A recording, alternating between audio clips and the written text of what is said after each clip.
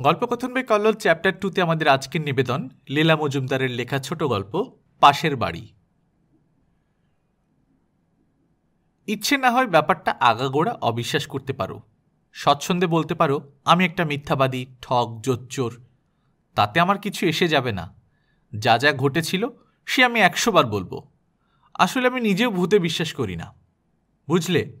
মার মেজমাসিরা হলেন গিয়ে বড় লোক বালিগঞ্জে বিরাট বাড়ি তার চারধারে গাছপালা, সবুজ ঘাসের লন, পাতাবাহারের শাড়ি, মস্ত মস্ত শ্বেত পাথর দিয়ে বাঁধানো ঘর।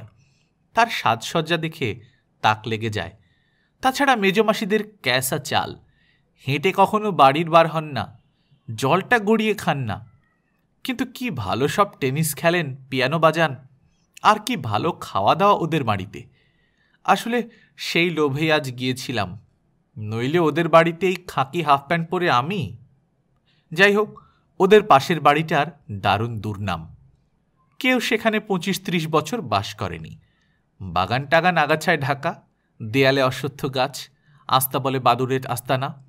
দিনের বেলাতেই সব ঘুপসি অন্ধকার স্যাঁতছেতে গন্ধ।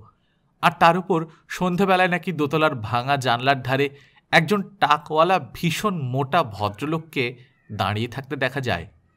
তার চেহারা নাকি অবিকল এখনকার মালিকদের ঠাকুরদাদার মতো দেখতে। অথচ সে বুড়ো তো প্রায় পঞ্চাশ বছর আগে মরে ঝরে সাবার। আর মালিকরা থাকেন দিল্লিতে। নিশ্চয়ই বুঝতে পেরেছ, ভয়ের চোটে কেউ আর ও বাড়িমুখ হয় না। আমার কথা অবশ্যই আলাদা। আমি ভূতটুতে বিশ্বাস করি না। রাতে একা অন্ধকার ছাদে বেরিয়ে আসি। সত্যি কথা বলতে কি, ওই এক বেড়াল ছাড়া আমি আর কিছুতেই ভয় পাই না। শুধু বেড়াল দেখলেই কীরকম গা শিরশির করে। যাই হোক, বিকেলে সবাই মিলে ওদের দক্ষিণের বারান্দায় বেতের চেয়ার টেবিলে বসে মাংসের শিঙাড়া মুরগির স্যান্ডউইচ, ক্ষীরের পান্তোয়া, গোলাপি কেক আরও কত কি যে সাঁটলাম, তার হিসেব নেই। কিন্তু তারপরেই হলো মুশকিল। কোথায় এবার গুটি গুটি বাড়ি যাব, তা নয়, গান, বাজনা, নাচ, কবিতা বলা শুরু হলো। হাঁপিয়ে উঠি আর কি, শেষটায় কিনা আমাকে নিয়ে টানাটানি। আমিও কিছুতেই রাজি হব না মার মেসোমাসে আবার ঠাট্টা করে বললেন, ও, গান বাজনা হলো গিয়ে মেয়েদের কাজ, আর উনি ভারী লায়ক হয়েছেন। আচ্ছা দেখি তো তুই কেমন পুরুষ বাচ্চা? যা তো দেখি একলা একলা ওই ভূতের বাড়িতে, তবেই বুঝব কত সাহস। আর সবাই তাই শুনে হা হা করে হেসেই কুটিপাটি। শুনলে কথা, রাগে আমার গা জ্বলে গেল। উঠে বললাম, কি, ভয় দেখাচ্ছ আমাকে? ভূত ফুত আমি বিশ্বাস করি না। এই দেখো, গেলাম। বলেই বাগান পার হয়ে টেনে দৌড় মারলাম। এক মিনিটে পাঁচিল টপকেও বাড়ি। হাঁটু ঝেড়ে উঠে দাঁড়িয়েই মনে হলো, ভূত না মানলেও কাজটা ঠিক হয়নি। কীরকম যেন থমথমে, চুপচাপ। দুষ্ট লোকদের পক্ষে ওইখানে লুকিয়ে থাকা কিছুই আশ্চর্য নয়। যাই হোক, টিটকিরি আমার কোনো কালই সহ্য হয় না। কাজেই না এসে উপায় ছিল না। গুটি গুটি এগুলাম। তখনও একেবারে অন্ধকার হয়নি, একটু একটু আলো রয়েছে। দেখলাম দরজা জানলা ভেঙে ঝুলে রয়েছে। শ্বেত পাথরের সাদা কালো মেঝে ফুঁড়ে বটগাছ গজিয়েছে। সাংঘাতিক মাকড়সার জাল চারদিকে। তার উপর আবার কীরকম একটা হাওয়া বইতে শুরু করেছে। ভাঙা দরজা জানলা খটখট করছে, মাকড়সার জাল দুলছে। দোতলা থেকে কি অদ্ভুত সব আওয়াজ আসছে মানুষ হাঁটার মতো, বাক্স প্যাঁটটা টানাটানি করার মতো। অথচ মস্ত কাঠের সিঁড়িটা ভেঙে নিচে পড়ে আছে। এদিক দিয়ে ওপরে উঠবার জো নেই। চাকরদের ঘোরানো সিঁড়িও ভাঙা। মিথ্যা বলব না, বুকটা একটু ঢিপ ঢিপ করছিল। ঘর থেকে বেরিয়ে আবার বাইরে এলাম।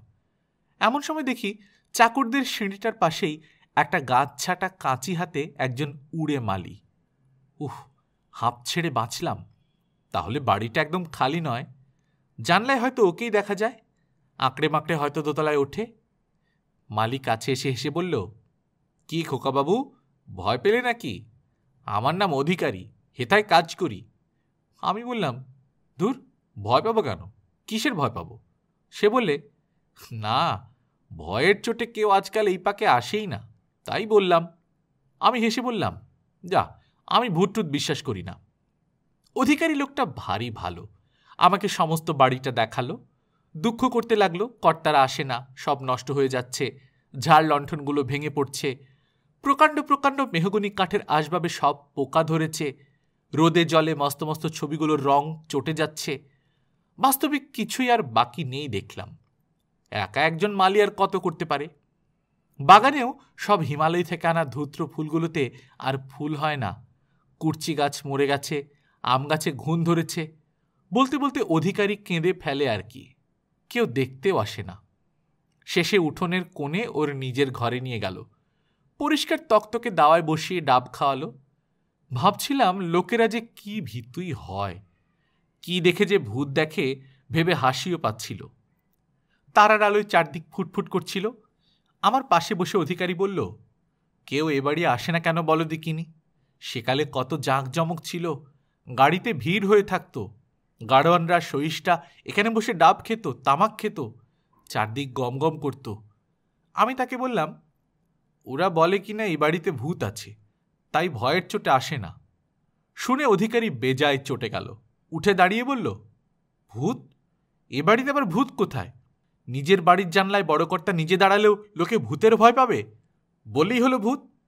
আমি তোমাকে বলছি খোকাবাবু, একশো বছর ধরে এই বাড়ির কাজ করছি। একদিনের জন্য দেশে যাইনি কিন্তু কই? একবারও তো চোখে ভূত দেখলাম না? বলে একবার চারদিকে চেয়ে বলল, যাই, আমার আবার চাঁদ উঠবার পর আর থাকবার জো নেই। বলি, সে তোমরা বিশ্বাস করার নাই করো। লোকটা আমার চোখের সামনে মিলিয়ে গেল। দেশলাই কাঠিতে ফুঁ দিলে আগুনটা যেমন মিলিয়ে যায়, ঠিক সেই রকম করে। চারদিকে বাতাস বইতে লাগল, দরজা জানলা দুলতে লাগল, পূব দিকে চাঁদ উঠতে লাগল। আর আমি ঊর্ধ্বশ্বাসে ভাঙা সদর দরজা দিয়ে বেরিয়ে পড়লাম। এই দেখো, এখনও হাঁপাচ্ছি। গল্পকথন বাই কল্লোল চ্যাপ্টার টুতে আপনারা শুনছিলেন লীলা মজুমদারের লেখা ছোট গল্প, পাশের বাড়ি। আমরা নিয়মিত গল্প পাঠ করে শোনাচ্ছি। আপনারা যারা প্রথমবার মতো শুনছেন কাইন্ডলি সাবস্ক্রাইব করে নেবেন। গল্প পাঠ ভালো লাগলে বন্ধুদের সাথে শেয়ার করবেন। নিজে ভালো থাকবেন, আশপাশের লোকজনকে ভালো রাখবেন। টাটা।